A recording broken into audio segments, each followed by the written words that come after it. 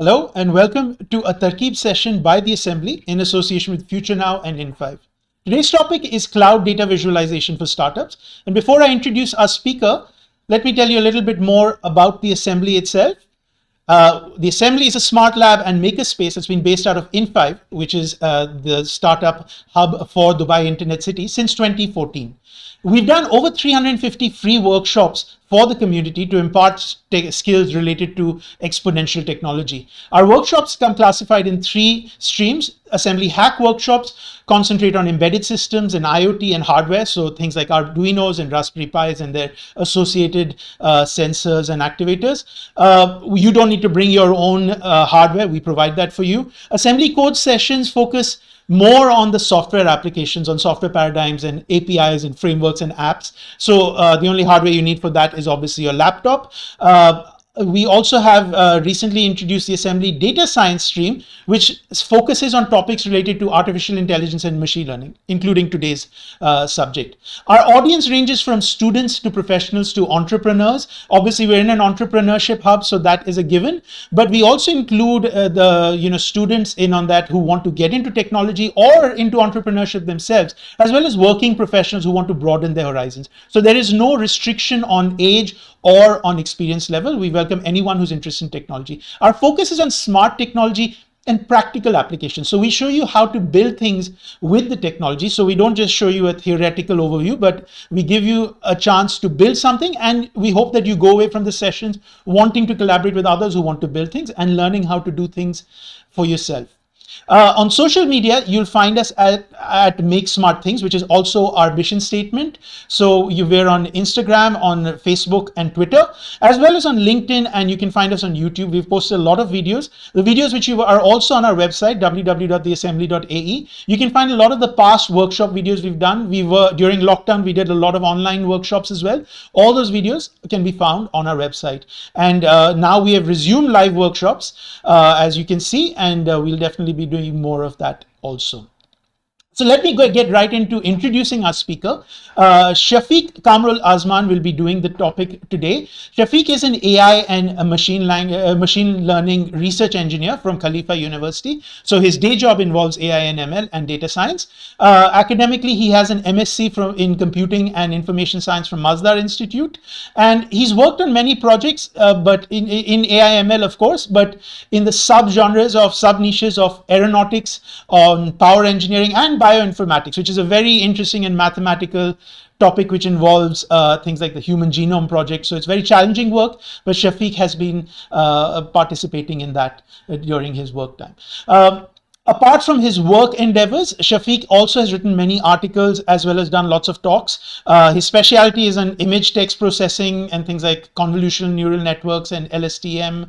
Uh, he's done a lot of work with PyTorch and of course the very interesting field of GANs, uh, which, uh, which you see nowadays uh, is quite a buzzword also. Uh, and of course, the challenging and mathematical field again of game AI. So he's worked on many different things and he is an all-round uh, machine learning brain, uh, as, as we like to call him. He's a, he's a, he calls himself a machine learning geek and that's a very apt uh, phrase. Uh, he's done many previous workshops for the assembly, including uh, one on palette transfer in Python. You can find all these on our website, by the way. Palette transfer involved transferring the uh, palette from one image onto another. Uh, he did a workshop on transfer learning using the UCSD BIRDS 200 data set as an example. And he did a very fun workshop for us uh, involving generating names for Elder Scrolls, the game, uh, using a neural network. So you can find Syafiq's full profile, including the list of his publications on Google Scholar under uh, his website, siafas.xyz, and you'll find a lot of good stuff there relating to the work he's done. You can connect with him on LinkedIn at this link. And of course, if you want to check out the code he's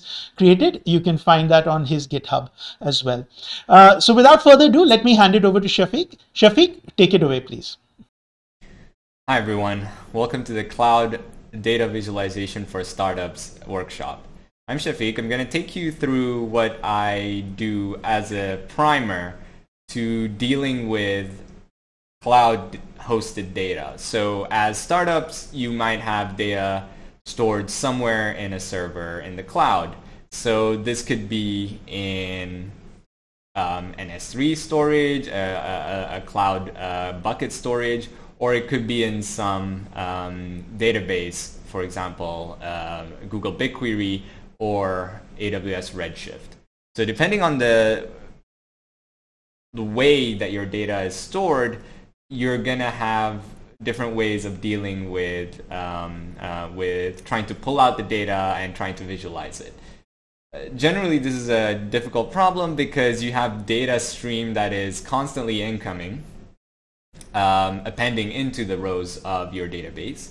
Uh, but at the same time, you want to create some visualization flow that you can then reuse when new data come in and analyze uh, the new data um, with the same notebook, uh, ideally using the same set of code. So today we're just going to walk through an example kind of uh, workflow that you might do in, um, in Google Colab uh, in conjunction with Google BigQuery. And we're going to use a prepared data set. But of course, if you have your own data set that is hosted uh, in BigQuery, you, you can pull that data out as well. The whole idea here is not to focus on the BigQuery um, uh, you know, functionalities, but rather to work with uh, the visualizations itself.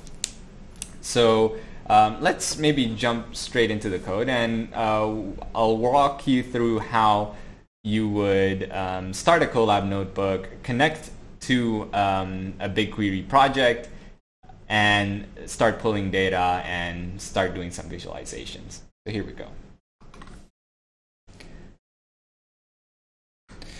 Um, so here in my screen I have um, an example visualization notebook. It's got some starter code um, just to get things um, ready so you can uh, hit the ground running kind of thing. Um, what we're going to start with is just creating a project on Google Cloud Platform. If you don't have a Google account, now is probably a good time to uh, to start and uh, create one. Um, you're gonna have to enable billing, but don't worry, this won't incur um, any charges on your account when you're using BigQuery or small queries like this, unless you're uh, you're using this constantly, um, you know, for for uh, production.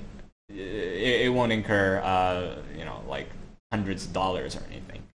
Um, but it remains to be said that um, this this is merely a tutorial, you would probably ideally just delete the project once you're done, uh, just to minimize any billing. So let's start here. So it says uh, to use the Cloud uh, Resource Manager and to uh, create a cloud platform project if you don't already have one. So we're just going to create one. I already got one for the visualization, but I'll just walk you through how you would create one. So let's just start with the link. We'll go to uh, GCP uh, we'll show you the list of projects that you have. I'm just going to create a new uh, project. I'm just going to call it my visualization project. Okay. Um, and create. So it's going to create my project. And in the meantime, while it's doing that, okay, uh, we're just going to uh, enable billing for, uh, for the project as well. Um, yeah, it's going to tell you uh, how to do this. I've already set up billing for my account, so um, I probably don't need to set up billing here. I just need to make sure I get um, my visualization project uh, set up. Uh, and the third thing to do is to enable BigQuery. Uh, if you don't have billing set up, just uh, walk, walk, walk through um, the steps here. Um, it's pretty self-explanatory. So I'm going to enable the BigQuery API um, for this particular project. So um, just so we're in the right project, just make sure you're here selected on the project that you just created. So I'm here on my visualization project. So uh, I'm on the right project. So it says confirm project. Yes, I'm going to make changes to here, and I'm going to enable the BigQuery API. And once that's enabled, we're good to go. So um, you'd want to just provide your credentials to the runtime, so that will allow Colab to access um, the uh, the Google Cloud uh, platform's BigQuery functionalities. Um, and you're going to have to enable this every single time you run the, the Colab notebook. But it's a small step that just ensures that Google has the right security clearances to access um, what Google needs to access in your GCP account. So let's just uh, get connected.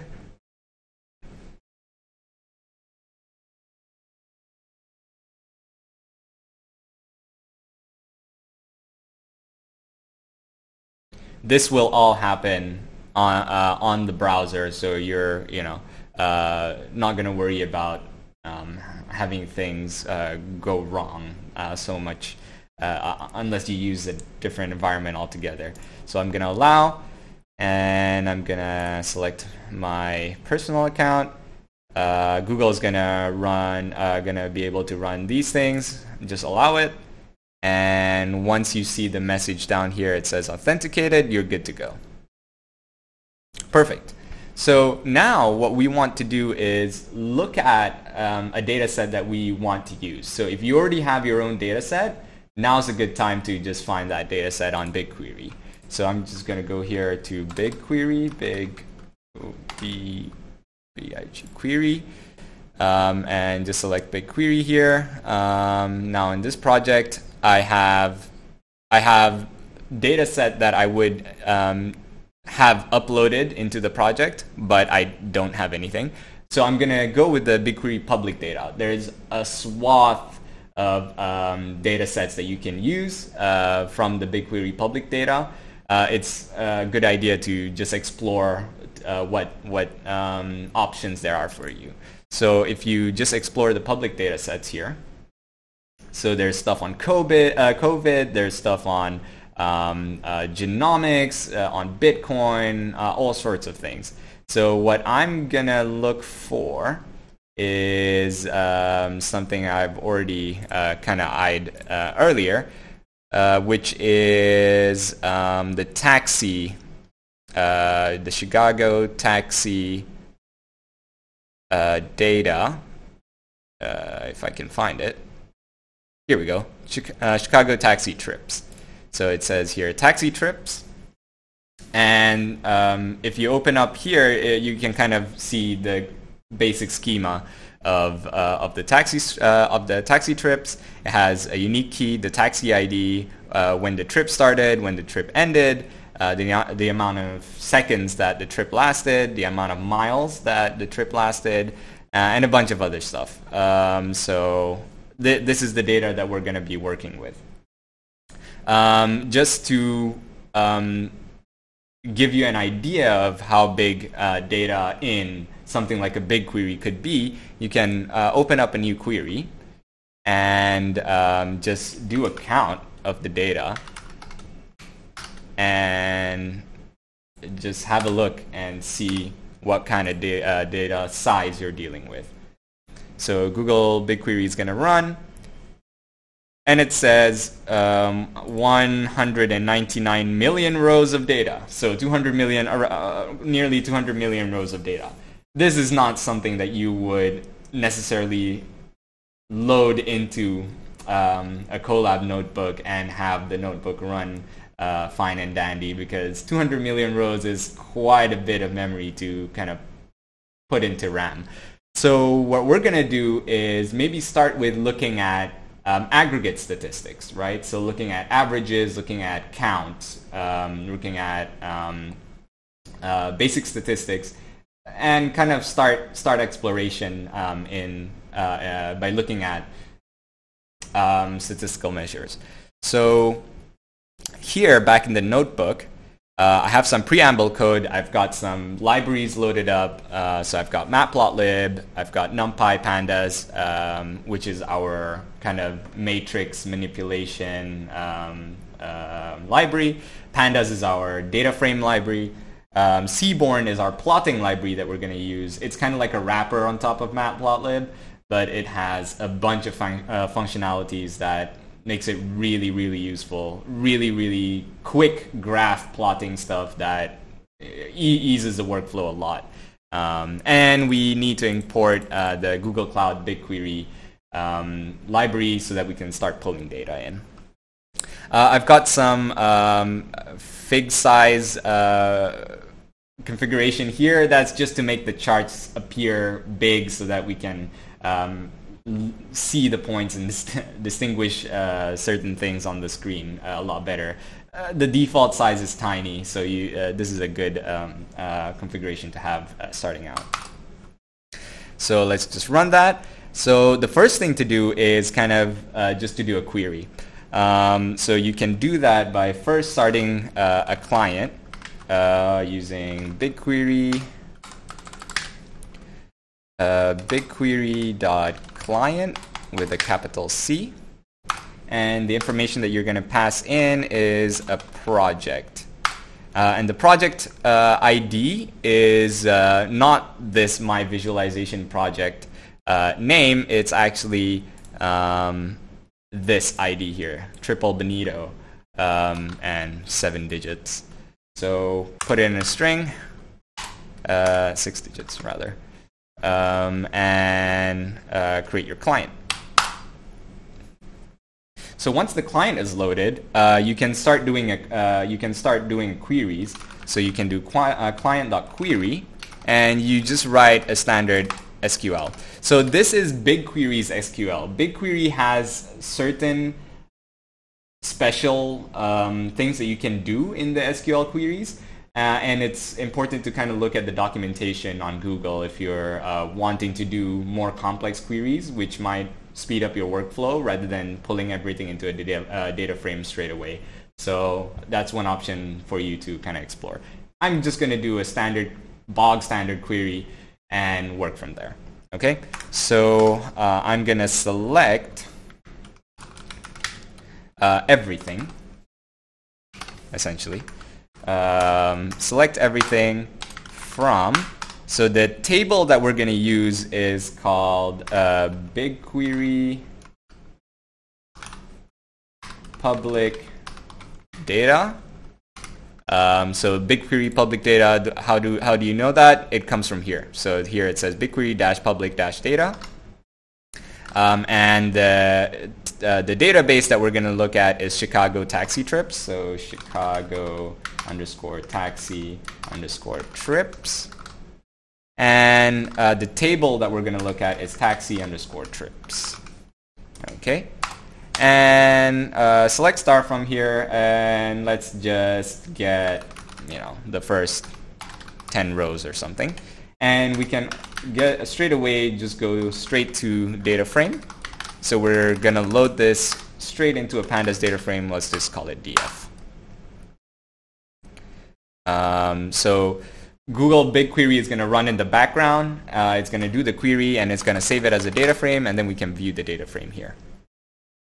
Cool. So we've got some information here. Um, so as I said, trip seconds, trip miles, uh, trip total, the payment type, the company of the taxi, and a bunch of other stuff. A lot of the data is missing, but uh, let's not worry about that right now. Let's just try to get some um, aggregate statistics running. So the first thing I want to do is, well, the, the most basic kind of thing that you should do is maybe just explore the basic uh, visualizations that you have in Excel, for example.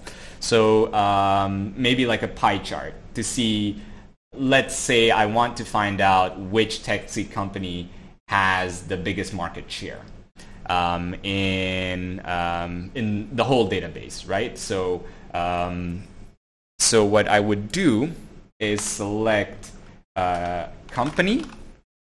So that's the um, that's the uh, column here, company, and I want to get um, maybe just the um, average um, and I want to get the average uh, trip total, maybe. So that's the, the, the amount of money that is paid for that trip. So average trip total. And straight into data frame. So um, Google is going to do this uh, query in the background. It's going to happen relatively quick, although we have 299 million rows. Uh, sorry, 199 million rows, uh, because some of this uh, query are, are already cached. So some of them run very, very quickly. If you do a, re, a really unique query, you're going to get, um, uh, you're going to have to wait for a bit. So here we go. Let's run that. Uh, whoops, some, uh, uh, I shouldn't have a limit here anymore. Uh, but the query error here, it says select list expression, which is not the group. Oh yeah, so I want to group by group by company. So because we, we, we want to average over the companies uh, uh, trip total, right? So uh, let it run that. Perfect. So now, perfect. Now, so we have a list of companies and the, the average uh, trip total. Actually, the average uh, doesn't tell us much. Uh, I probably want to do a sum rather.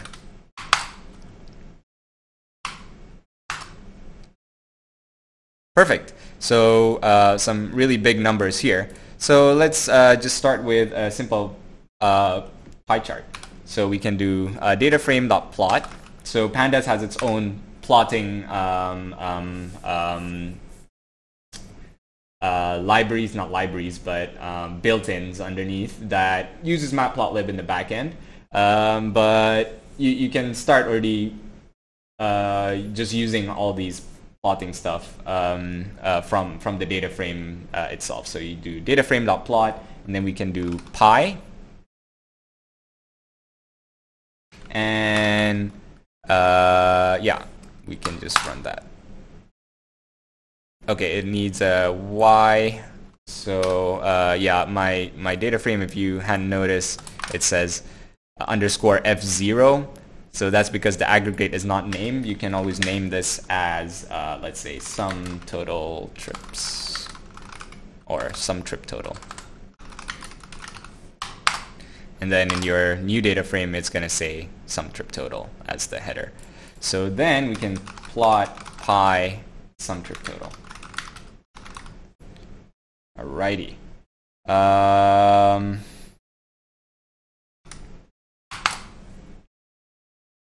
Ah, sorry. Yeah, it needs a y equals. So this is one of those things that uh, pandas is notoriously bad for.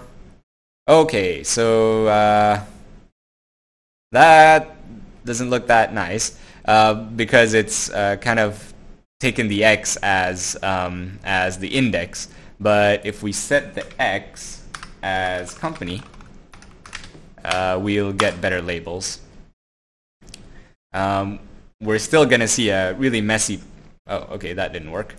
Uh, I think if we set the index, so if we set the index to be um, the company, that will change the data frame so that um, they will name it a bit better.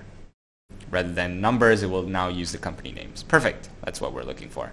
Uh, okay, so this is a really messy pie chart. Uh, you can uh, set the legend to be false uh, because I mean it's kind of obvious from um, from just looking at here. So we can see that there are um, you know some some weird artifacts. So there are um, taxis that uh, taxi companies that are null, so like none here.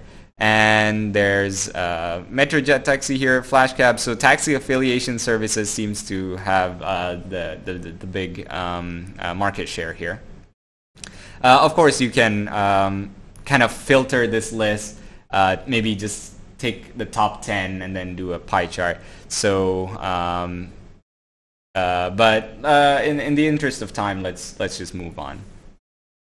another thing that you could do is a bar chart. So um, let's say I just want to see, uh, maybe, maybe the, the pie chart doesn't tell you as much information. The bar chart will tell you like how, how different um, the, the taxi companies are, um, you know, in, um, in more realistic terms. Or So uh, what you could do is then uh, do the same kind of thing here but set the pie, instead of pie, you set to bar. And you should see, okay, uh, that again is a little messy. I think it's always a good idea to kind of sort this data if you're going to use a uh, if you're going to use a bar chart. So let's do that. So I'm going to set my df to be df.setIndexCompany and I'm to look at the data frame.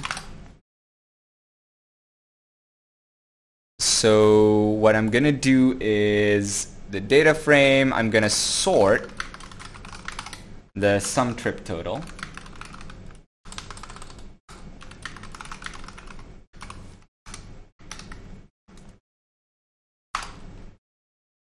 And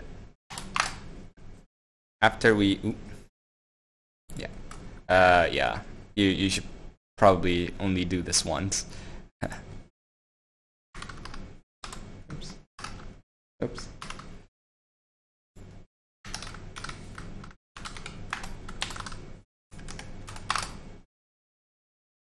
Uh, okay, now that we've sorted it, I want to take the last 10. So let's say I want the last 10 onwards, and then I want to do a plot bar. And the y is my sum trip total. Cool. So now we can see like, okay, taxi affiliation services is making uh, big bucks. And then next come uh, none. Well, that's not too useful. Flash cab, uh, and then dispatch taxi affiliations, yellow cab, blah, blah, blah, blah. Okay, so that's um, kind of like, you know, the, the basic uh, plots that you, uh, you could do. Um, from there, you can uh, then move on to maybe looking at uh, doing a scatter plot. So a scatter plot would determine that you would need uh, two variables or two uh, columns in, in, the, uh, in the data that you can plot as an x-axis and another column that you would plot in the y direction. Um, since we're still working with aggregate statistics right now, just to ease our, um, uh, ease our torment, um, let's maybe look at what's the relationship between the cost of a trip and the amount of time that the trip took. Generally, you would see a straight line because the longer a taxi trip is, um, the, um, the, the more it costs, right? So uh, let's now just create a new query uh, where we're gonna do um, an uh, so we're gonna take we're not gonna do yes we're still gonna group by company or we're not. No, we're still gonna uh, do uh, group by company, but we're gonna maybe average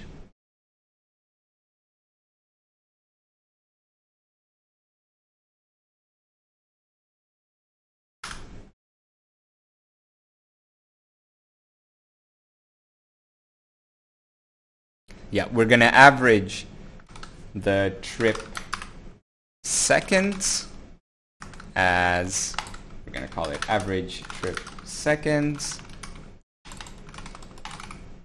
And we're going to get the average um, trip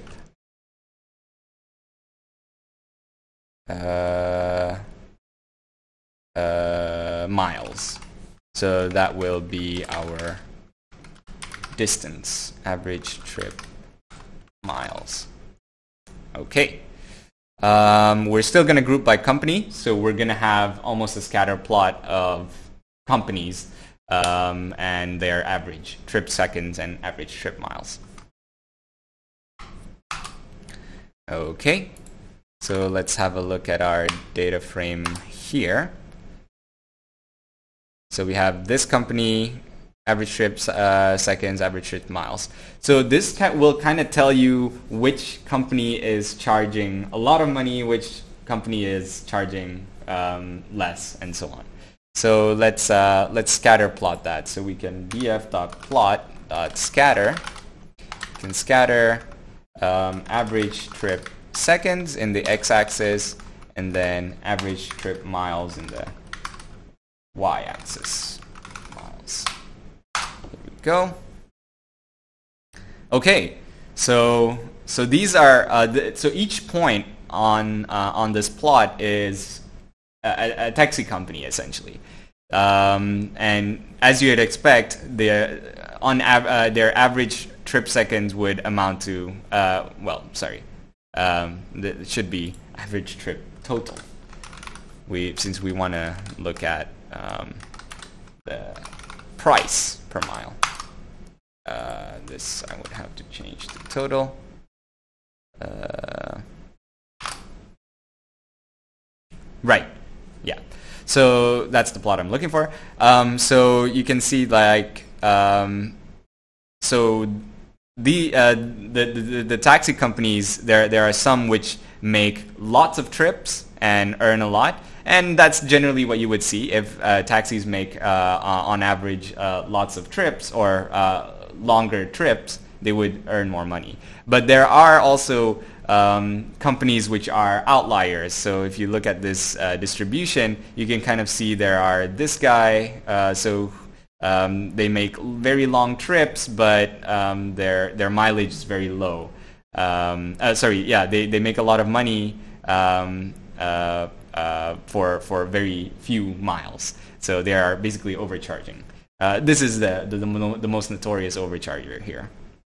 And there are guys down here who have almost zero trip miles, but uh, but have high trip totals, which could tell us something about the nature of the data. That could mean that there are uh, problems with possibly missing information or um, taxi companies don't record this properly. Maybe they don't uh, put the ticker on or maybe measure uh, the odometer properly uh, and things like that. But generally what you would see is a kind of straight line kind of pattern here right? So that can already kind of tell you the nature of the data that you're working with. If you're uh, if you're dealing with data that is really really weird or um, troublesome, um, and it already tells you a lot of information like there are taxis that overcharge and there are taxis that even uh, maybe even undercharge, and those are the taxi companies that you're probably going to ride next time. Okay, Perfect. So uh, now let's kind of uh, move in and start working on um, real data. So we, we've been working with aggregate statistics, and we really want to play around with um, the rows of data themselves.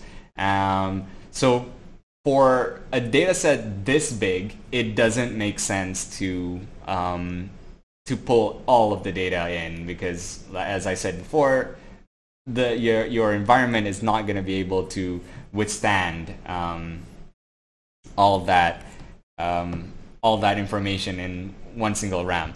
Uh, so it, the, the, the idea here is to just take a section of the data. So maybe let's say 100,000 rows or so and um, work work with that small subset and build your visualization so that you can pull in new data later on and then have the same visualization um, and uh, yeah and play around with it a bit more so here what I'm gonna do is do a new query I'm gonna select everything this time uh, no more group bys and I'm just gonna have a limit um, I'm going to take the, the first 10,000 rows of, uh, of this data set, right? Uh, and set it as my data frame.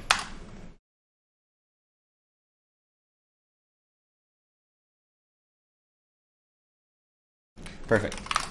So now I have 10,000 rows of information that I can now start playing around with. Okay, so the first thing uh, that I'd like to, uh, I always like to do is just look at histograms. Histograms will tell you how um, particular features in your data are distributed. So uh, if you're looking at, for example, in this uh, in this particular data set, let's say you want to know how uh, what the amount of a taxi trip is, uh, what's the di- distribution of, uh, of the total amount of a taxi trip, right? So histograms are a good idea. Um, so to do that, you would do df dot, uh, well, df trip total dot hist.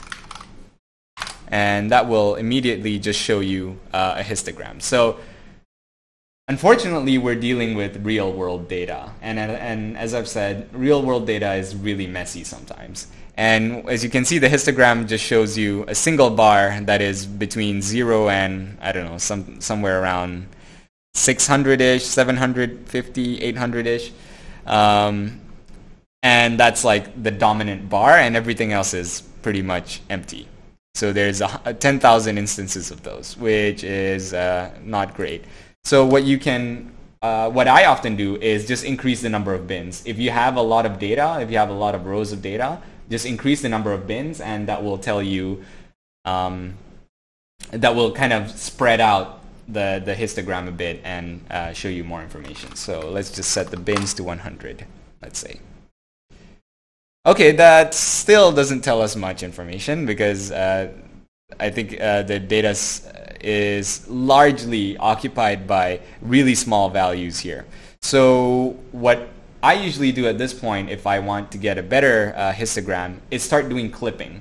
So clipping is just taking extreme values, clipping it down to, um, um, to a value that you think might be a bit more reasonable. So uh, it seems that one trip took maybe a, just above $7,000 uh, here. So I'm just going to do df uh, trip total. And I'm going to clip it between 0 and, let's say, $200. And I'm going to save that as a new column. I'm going to call it trip total clip. Right. And let's just see what that looks like. So I have my trip total clipped here. And then I would um, plot that df trip total clip and uh, and let's plot a histogram of that give it 100 bins cool that looks a lot better so that looks like a distribution that um, seems to be more realistic rather than um, this distribution that we were seeing earlier. So it seems like 200 seems to be um, still uh, pretty big in the range of values that are common. So let's um, shrink it down even more. I think about $100 seems to be um, the absolute maximum. So let's just change that clip value. Um, I'm going to even go down to $80. Why not? And I'm going to replot. Great. So um, this, this looks a lot better. So there's still, uh, you can see there's a bunch of zeros here. Um, almost 200 uh, of those trips that, uh, in, uh, that were captured in this 10,000 rows are zero. Um, and there are um, there's this big spike here around $9, $8, uh, around about that. Um, and then it goes down and then there's like some some other modes here and these uh, anything that is at 80 is basically anything above $80 essentially. Right? And you can do this for uh, not just the trip total, um, but do it for the rest of the data. So trip seconds, trip miles. Just to prove a point, um, you, you will see, if I plot here trip seconds uh, in, in, the same, uh, in the same manner, you will see a lot of zeros. And, I think that's just the nature of the data. Real world data is really messy and um, it's problematic and this is one of the things that you have to deal with in visualization. Um, so we, we can do the same to um, the trip seconds, just change rather than trip total here. Uh, I'm going to use trip seconds. Seconds. Um, well, I don't know what the uh, good value is. Um, I'm going to say uh, it seems like the biggest value around here is 3,000. So let's say uh, 4,000.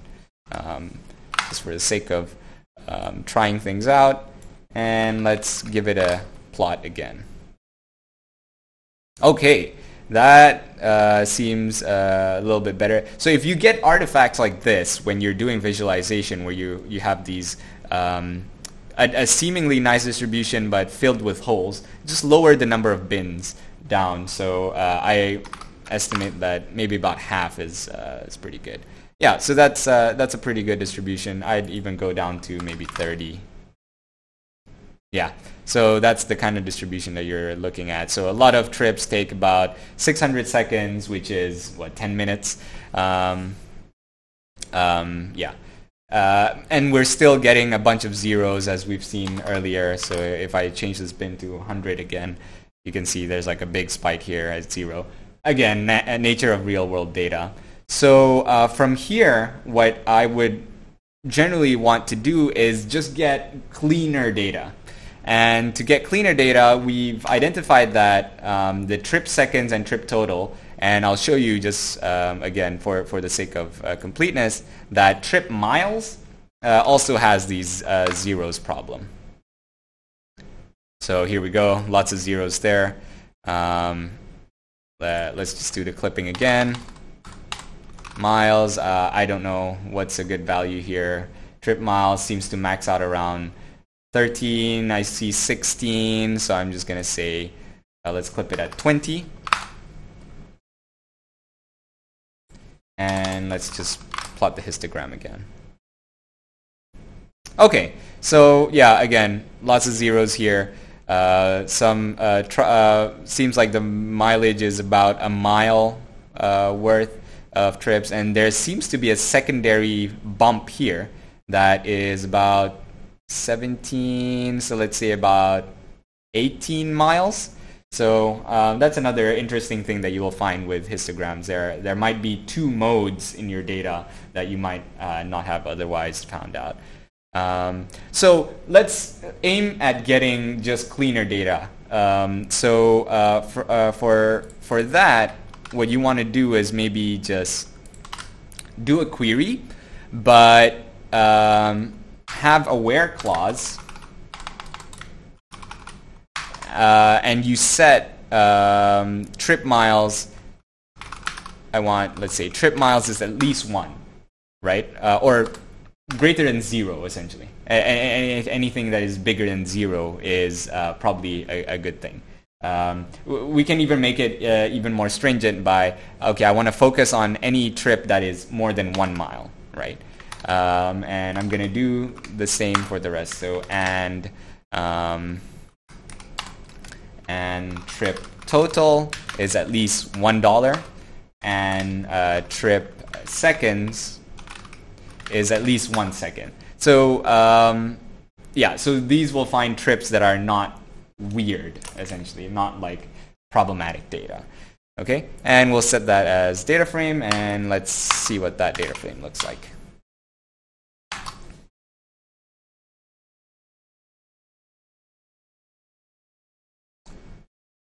So it's done the query. Perfect. So now what you could do is um, uh, so have a look at maybe uh, just plotting uh, these uh, histograms again. So uh, let's have a trip miles, hist bins equals 100. Okay, so we're still getting extreme values uh, at this end, but um, you know you, you can further um, uh, further add into your query here. Let's say trip miles. We've found uh, we we set the clip before to what was it 80 miles or something. Uh, no, is it 80 miles? We set it to 20 miles. So I, I, I want uh, at the very maximum maybe I don't know. Uh, it seems like 100 miles uh, seems reasonable. So anything less than 100 miles and um, where the trip total is uh, less than $100 because I don't think people pay for that. So let's just aim at getting uh, a cleaner data that we can then work with uh, that is you know not necessarily problematic. This would be uh, looking for trips that are daily kind of trips, right? So trips that are maybe from work to, uh, from home to work or from workplace to maybe a, a party or, um, or a dinner or something, right? Um, here we go, and let's have a look at the histogram again. Okay, that looks a bit better, so we don't have any more zeros. Uh, it's still kind of distributed this way, but uh, whatever. So uh, let's have a look at all the other histograms, trip seconds. Yeah, well, okay, trip seconds still has the problems of it being uh, extremely high, so I'm probably going to set that uh, to less than, I think we said it was 4,000 earlier. So let's just uh, run those queries. Okay, um, that looks a bit better. Yeah, I think uh, this is a this is a data that we can now work with that is kind of legit.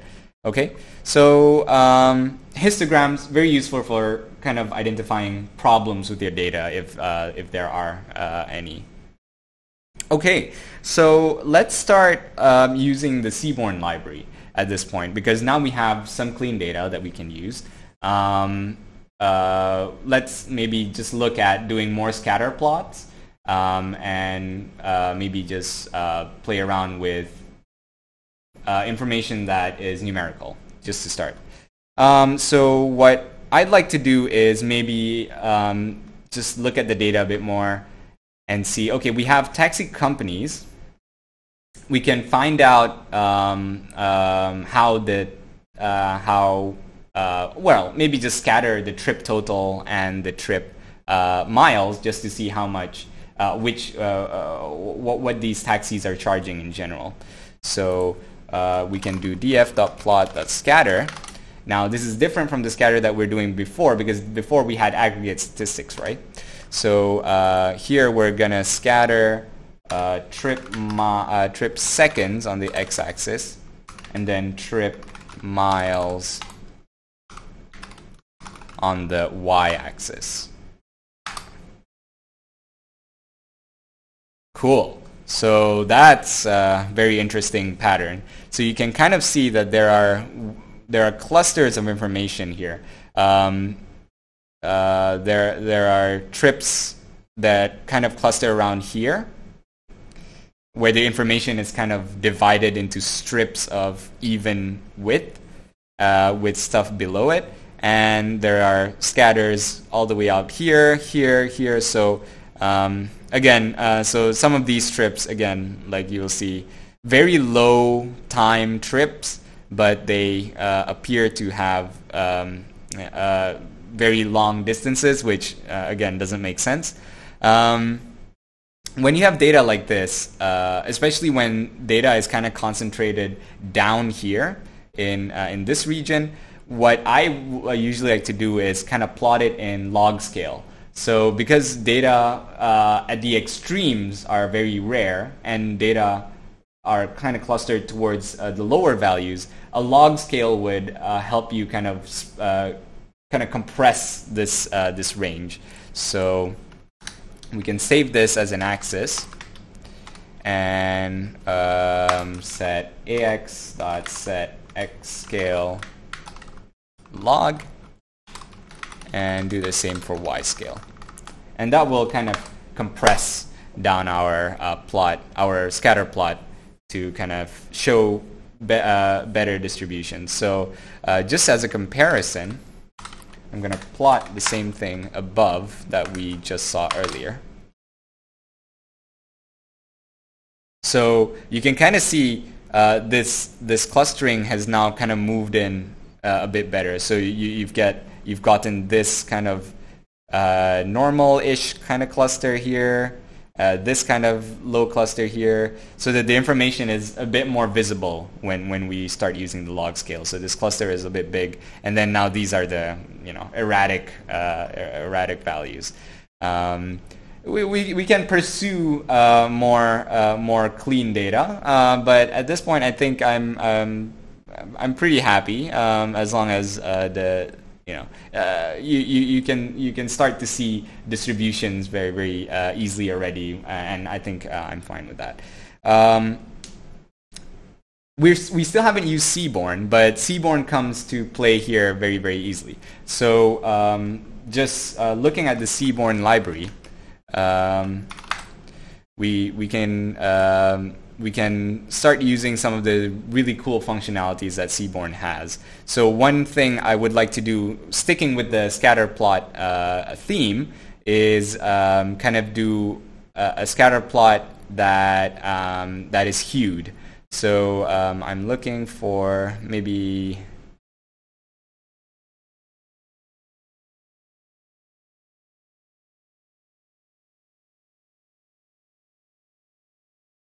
Yeah, we can we can do a, a, a linear plot like this, um, which uh, scatters uh, the values and you know plots a line toward, uh, through it, and we can color by the uh, by the category that we want. So if we have categorical variables, um, uh, like for example taxi company, um, we we can get this uh, this kind of visualization.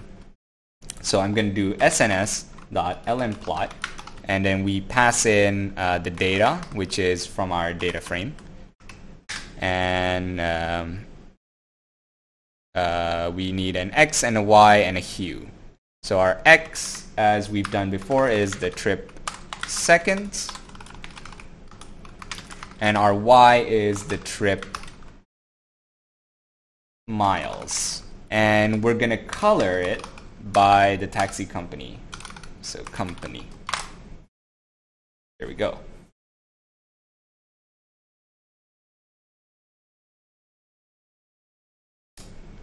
Cool. Okay, so we have a lot of taxi companies, um, and they're uh, they're kind of all over the place. So it's probably a, a, good idea to maybe just focus on a few, maybe like the top five. Um, so let's let's find the top five taxi companies. So if I do df. Um, if I group by company um, and if I do dot sum uh, well yes. If I do sum and I want to look at the total uh, trip total. Or maybe or maybe just a count to see uh, which company makes the most trips. I think that's uh, that's a good idea in and of itself. Um, and I'll just sort values uh, unique key. Um, so the the best, the top five are these guys. So I'm just going to copy them here, uh, deleting uh, the rest of the stuff outside of the names.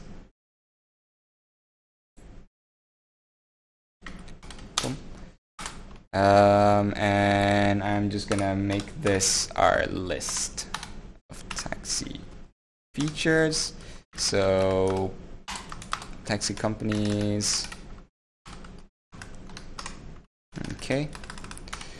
Comma, comma, comma, comma, comma. And I'm gonna say these are my selected companies. So then we can do a filter df where df company is equal or, or is in selected companies. Okay. So these are, uh, okay, so we have uh, much fewer rows, 5,000 rows, but still, uh, they are the majority of the companies. Um, and we can just pull in uh, this lmplot again. Uh, change it to SDF and CR plot. Cool. So uh, the the plot's a little tiny, but I guess uh, Seaborn is not playing nice with uh, with my um, with my presets, but that's fine because we can do a quick um, can do a quick hack here where we just said um, a figure size axis, and we can plot it on this axis. Uh, PLT dot, not figure, subplots. Uh, okay, so uh, SNS does, uh, Seaborn does not want that. Um, okay, I guess uh, we'll, we'll have to deal with this. Okay, so we can see that the Sh Chicago Carriage Cab Corp uh, uh these, uh, you know, this group here, and then um, taxi affiliation services are kind of overlapped with Dispatch Taxi Affiliation and Sun Taxi. So uh, again, uh, that, that, that's uh, kind of some information that you can see here that, well, um, well, trip seconds and trip miles is probably not useful, but maybe trip total is probably a better um, plot to get. Okay, yeah, so um, lots of mileage, uh, but very little cost. And uh, so, you know, the Chicago Car uh, Carriage Cab Corp are, you know, uh, are probably the best uh, company because they charge very, very low values. And taxi affiliation services seems to be very expensive. Uh, and Sun Taxi is, they're, they're almost like competitors for each other. So that, that, that's something pretty cool to see. Now, um, we let's move on to something else. The the final thing, uh, just before we wrap up um, this primer, is we we can look at doing pivot tables. So pivot tables are very very useful in data visualization. It tells you um, the the, the way two variables kind of affect each other um, when they are binned. So for example, if I wanted to find out um, how, uh, how taxis operate throughout the day, because we have information here of when the trip started and when the trip ended. So if we could know uh, when do taxis operate more often uh, than others, maybe in terms of the day of week and in terms of the hours of the day right? So um, that, that might be useful information. So let's start uh, by creating a pivot table. It's uh, pretty, uh, pretty straightforward. So you start with the data frame and then you do pivot um, and you would pass in in the pivot function uh, the index so the index, I want to say, uh, let's say the hours of the day. So the hours of the day are kind of encoded in this timestamp information. So we have to pull that information out first. So I'm going to say df dot uh, hour uh, is uh, df dot um, trip um, trip start timestamp hour. So that will give us the hour of the day in 24-hour format. And then let's say I want the day of the week. Uh, st uh, start timestamp dot dt dot um, day name I think is the function um, and I would uh, like the index to be hour and I want the uh, columns to be uh, day of week and uh, my values are the unique trips. Uh, unique key, I think is the term. Um, yeah, so let's have a look at what that looks like. Uh, index could, uh, contains duplicate entries, cannot reshape. Um, Okay, um, this is where I jump into pandas. Uh,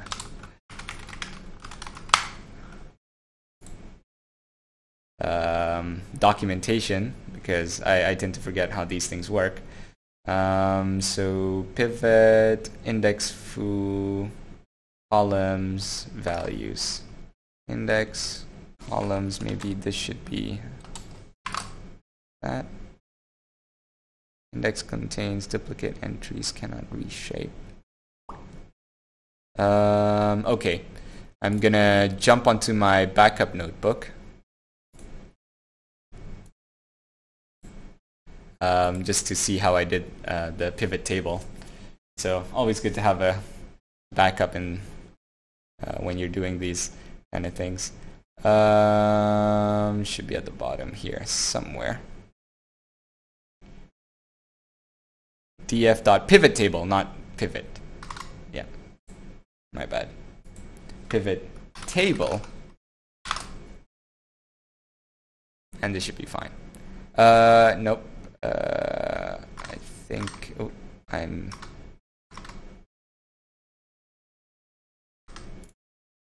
pivot table. I'm just gonna borrow this. Yeah. So I'm gonna set uh, df.pivot table equals values. The values are the unique keys, so the unique trips. Um, the index is the day of week, and the columns is the hour, and the, aggreg uh, the aggregation function is count. So let's have a look at what that table looks like. Yep, so it's uh, this kind of thing here. It doesn't tell us much. I mean, it tells you like, okay, on Friday we have, uh, at 4 a.m. you have eight trips. Or I guess this would be, um, yeah, 4 a.m. because hour zero is 12 a.m. Um, and at the 11th hour you have 111 trips. But uh, it's uh, kind of hard to see because uh, the, the table, is, first of all, is truncated.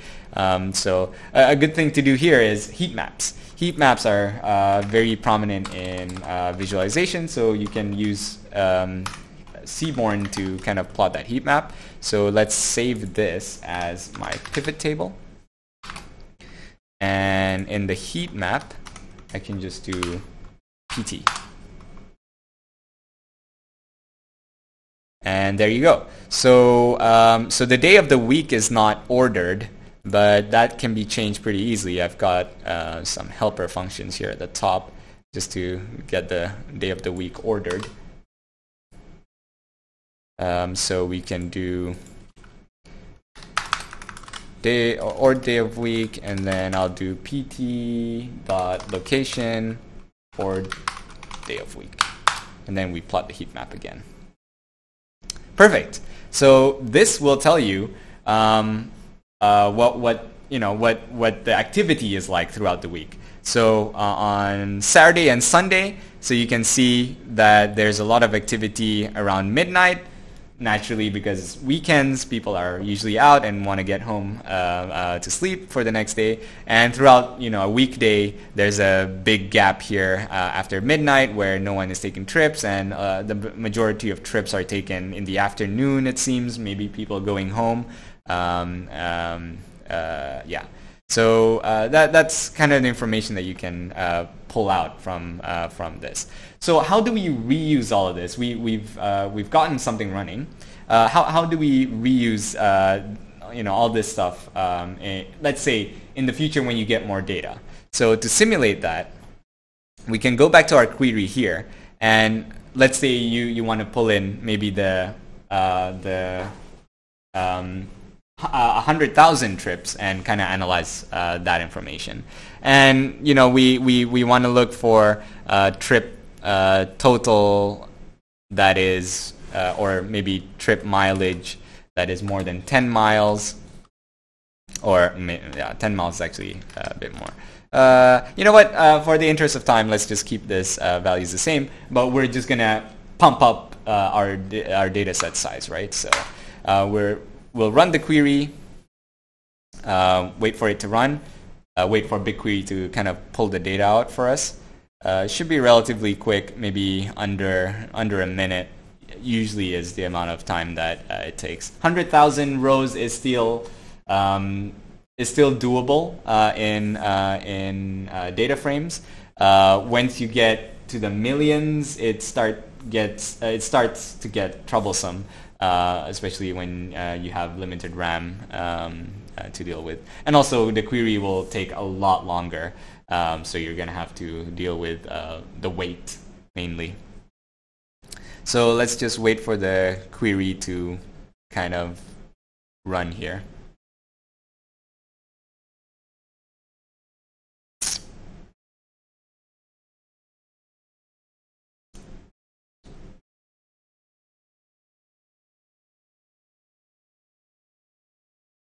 Okay, perfect. So took about minute and one second.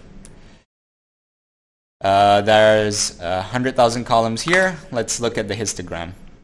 Cool. So a, lot more natural looking histogram uh, now, uh, which is uh, great. Um, let's see how our, uh, how our scatter looks here. Okay. Uh, uh, still similar patterns, but I guess because we're getting more data, more the holes are being filled up. So you can see a large blob here um, uh, starting to form. So it's starting to form like a normal uh, kind of distribution, largely uh, largely around this uh, peak here, as you might imagine. Um, let's uh, do our line plot for the top companies. I hope they're still the top companies. Uh, well, actually, no. This is for all the companies. That's a probably a bad idea. So let's look at our top companies this time. Uh, City Service is still there. Sun Taxi is not there anymore. Um, okay, so let's uh, pull pull these guys. Um, uh, so actually, you, you, you can get um, you can do index like that to to kind of get um, the, the the bottom companies uh, quicker uh, quicker. Um, and just copy and paste them here.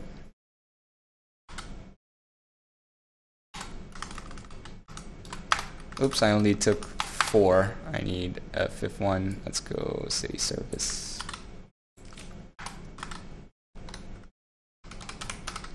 Okay. Um, let's. Those are our selected companies. Let's look at our um, line plot. Let's see how how these companies are looking. Okay, so uh, taxi affiliation services seem to be doing something strange down here. But the majority of them are uh, mainly competing uh, with one another with some trips are uh, maybe like airport trips or long, long distance trips. Um, uh, let's make our pivot table and let's see if our heat map uh, is looking. Okay, so the, the values kind of averaged out a bit better. So um, uh, we can see uh, throughout the week, the, there's this hole that's starting to form uh, in the early hours of the day, and um, you know they're they're concentrated around Friday, it seems. Um, yeah, actually, uh, the, the the order here is uh, uh, reversed, so let's reverse that so it looks a bit more natural. There you go. Um, so Monday, Tuesday, so there's a lot of trips happening Friday afternoon it seems. People going out Friday evening, um, and then taking the trips uh, um, probably late late in the night. So that's kind of uh, uh, pretty much it for um, uh, the primer to data visualization with uh, cloud data. We've seen how we can kind of pull uh, data from the cloud using um, Google Cloud Platform's BigQuery. This is specifically for BigQuery uh, because we're using Colab uh, in conjunction. Now, there are people who develop uh, pipelines or libraries for connecting to AWS Redshift and other uh, data sources. So uh, have a Google of how that works. Um, if you have um, a subscription to uh, Google Workspaces, there is um, something called Connected Sheets which allows you to do a lot of these analysis in a Google Sheet. Uh, which I think is a lot easier. But unfortunately, I don't have a Google Workspace um, uh, account, so I can't really show you guys that. Um, the other thing that Google provides is something called Google Data Studio, uh, which works directly with um, um with BigQuery, and you can open that by here going to Explore Data and Explore with Data Studio. Um, this is probably something we can do on a uh, on a later talk, but uh, again, the same kind of stuff, but you it's it's more drag and drop kind of thing. Um, uh, something that you can explore if you're doing visualization.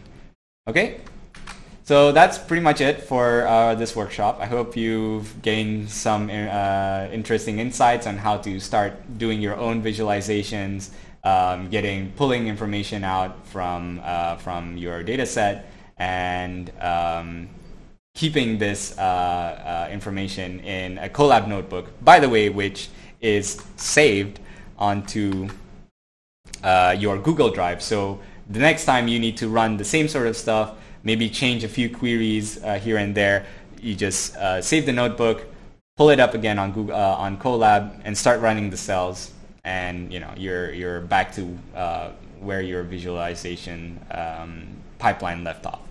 All right. So that's uh, that's it for me. Um, thank you so much for joining us, and I hope you found this um, um, informational. All right, take care. Bye bye.